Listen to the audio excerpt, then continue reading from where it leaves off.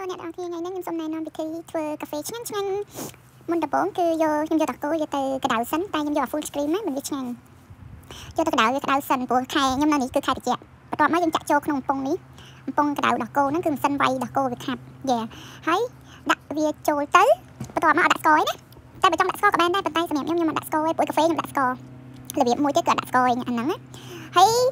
យើងដាក់វាចូលក្នុងនឹងក្តៅទៅអឺដាក់គ្រប់វា ហើយដាក់ចូលម៉ាស៊ីនចុចវា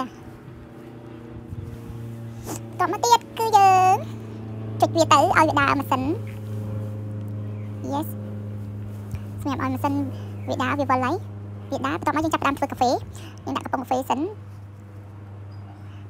កំប៉ុងកាហ្វេហើយគឺយើងដាក់កាហ្វេសម្រាប់2សភាសម្រាប់មួយកែវអ្នកចង់កាហ្វេចាស់ដាក់3សភាឬក៏2សភាខ្លះណាអត់បញ្ហាសម្រាប់ចូលចិត្តកាហ្វេដាក់ស្ករចូលតែនតែនគឺ2សាព្រា ខ្ញុំតែ2សាព្រាគ្រប់ហើយវាវិញតិចល្មម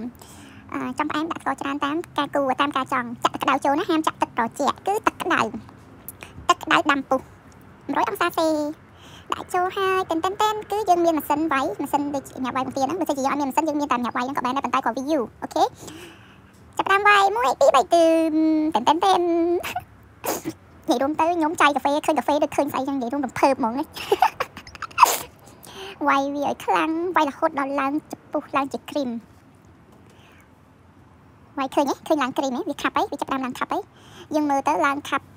ដែលយើងចង់បានណាបើយើងចង់ខាប់ចំណេះយើងវាយឲ្យយូរជាងហ្នឹងណាឃើញអត់ឡើងខាប់អើយឡើង smooth ហ្មងណាឃើញទេ Yes ហើយធ្វើអាហ្នឹងហើយបន្ទាប់មកគឺយើងដល់វាចេញហើយយើងចាប់ផ្ដើមរៀបចំដាក់កែវ សុំតើខ្ញុំឥឡូវហ្នឹងវាចុះខែតិចអីចឹងទៅខ្ញុំរៀងតឹងច្រមុះបន្តិចជិះថតរហូត sorry អ្នកនរគ្នាកុំប្រកាសកាន់អីណាខ្ញុំគ្រាន់ចង់ធ្វើចែកលេខវីដេអូស្វាយស្វាយនិយាយរួមឲ្យមើលទៅឲ្យមានក្តីសុខរបស់ឆ្ងាញ់ឆ្ងាញ់អញ្ចឹងណាខ្ញុំមិនមែន professional អីទេគ្រាន់តែខ្ញុំចូលចិត្តធ្វើម្ហូបចូលចិត្តធ្វើអីប្លែកប្លែកអូខេឥឡូវខ្ញុំចាប់តាមបាយម្ដងទៀតដោយសារខ្ញុំមើលទៅវាអត់សូវខាត់អត់ទាន់បានត្រូវចំណងចំណូលចិត្តរបស់ខ្ញុំឥឡូវនឹងចាប់តាមចាក់ដោះគោចាក់ដោះគោចាក់ដោះគោក្នុងកែវ គឺមានកែវមួយមកហើយយើងចាក់ដោះគោយើងចូល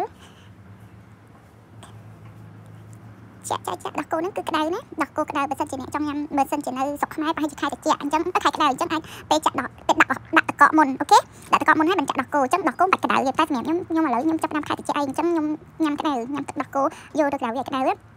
តែមកចាប់ផ្ដើមចាក់កាហ្វេចូលតែនតែនតែនអូឃើញទេ so smooth oh look so good អូយឃើញខ្ញុំអ្នកធ្វើហ្នឹងថេះឡើង smell មកអូយនិយាយនោះអ្នកអ្នកអ្នកចូលចិត្តកាហ្វេធំក្លិនកាហ្វេហើយ feel so good fresh មកណានិយាយរួមទៅខ្ញុំចូលចិត្តធ្វើកាហ្វេរាល់ថ្ងៃគឺញ៉ាំកាហ្វេម្ដងឬក៏ពីរដងប៉ុន្តែឥឡូវហ្នឹងវារៀងអឺគេងលេខលេតបន្តិចពួកអីអត់ធ្វើអីរៀងដូចនៃពេលចូលអញ្ចឹងទៅអត់សូវបានគេអត់សូវញ៉ាំកាហ្វេច្រើនទេខ្លាចគេអត់លក់យកជ្រៅខូចសុខភាពអត់តន់ចាប់ទេណា ចាំតិចទៀតគឺខ្ញុំដាក់ម្សៅអូវ៉ាន់ទីនដើម្បីឲ្យ smell លើកាហ្វេហ្នឹងម្សៅអូវ៉ាន់ទីនណាគេដាក់ម្សៅម្សៅមួយទៀតប៉ុន្តែខ្ញុំដាក់ម្សៅអូវ៉ាន់ទីនខ្ញុំចូលចិត្តម្សៅអូវ៉ាន់ទីនវាឈ្ងុយជាង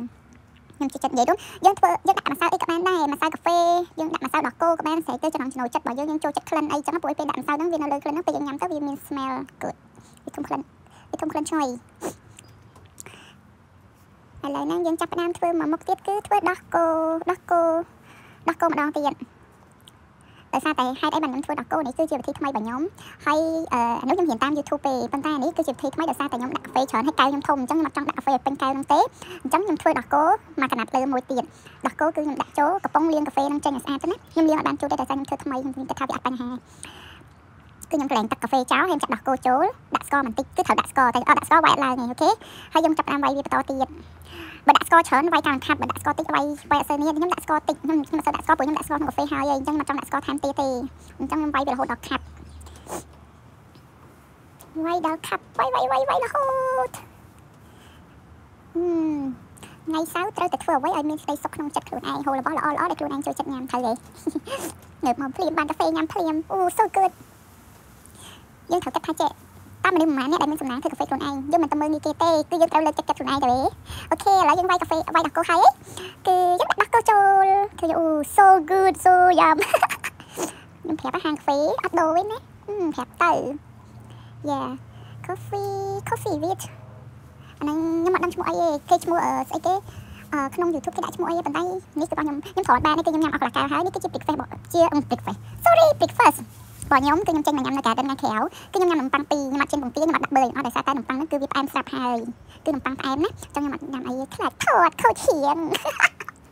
អើយខ្ញុំនិយាយលេងឯងតែសម្រាប់ខ្ញុំគឺចឹងមែនពួកនំប៉័ងហ្នឹងវាផ្អែមកាហ្វេគឺគាត់ធ្វើផាភ្លាមគឺខ្ញុំញ៉ាំអស់កន្លះកែវភ្លាមគួរដឹងហើយថាខ្ញុំចូលចិត្តកាហ្វេប៉ុន្មានមែនអត់ហ្នឹងហើយឥឡូវរីករាយចុងសប្តាហ៍ទាំងអស់គ្នាណានេះគឺជាពិធីរបស់ខ្ញុំចុះអ្នកវិញធ្វើណាកុំខ្ជិលអីនេះជាក្តីសុខផ្លូវចិត្តរបស់យើង OK សុខភាពហើយគឺជា សបាយរីករាយនឹងអ្វីដែលខ្លួនឯងបានធ្វើបានទទួលណោះ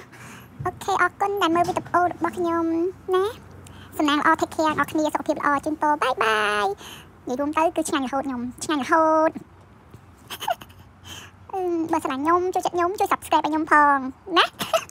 ជួយ like ជួយ share ទៀតតែបើអត់ like share ក៏អត់ទេដែរ OK bye bye